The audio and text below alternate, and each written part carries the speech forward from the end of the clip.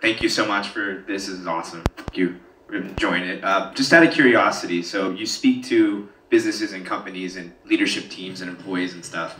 Uh, without mentioning names, I don't want to put you on the spot, but have you gone and talked to a company that's been in trouble and then spoken to their team and then checked in on them after you've spoken to their leadership team? And what did that look like? Did you notice a noticeable change?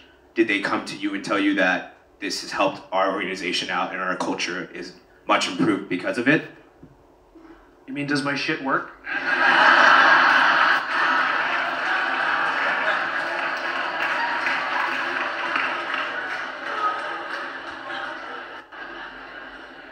I mean,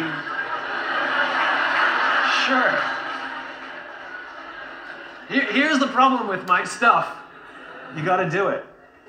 And I am not. I'm not anybody's like, you know, mom or dad. I, I'm not going to do it for you. And I have a very laissez-faire approach of it. I once had a. I once had a client. This is a, a bunch of years ago. That said, "What guarantee do I have that your stuff will work?" To which my answer was none. Like, I, I'm giving you a tool. You can, it's like a hammer. You can use it broadly or narrowly. You can build a table, you can build a house. It's the same tool. You can use it for marketing, you can use it completely revitalize your entire culture. And even though I'm going to sell you the most beautiful hammer, I'm not going to guarantee the structural integrity of the house.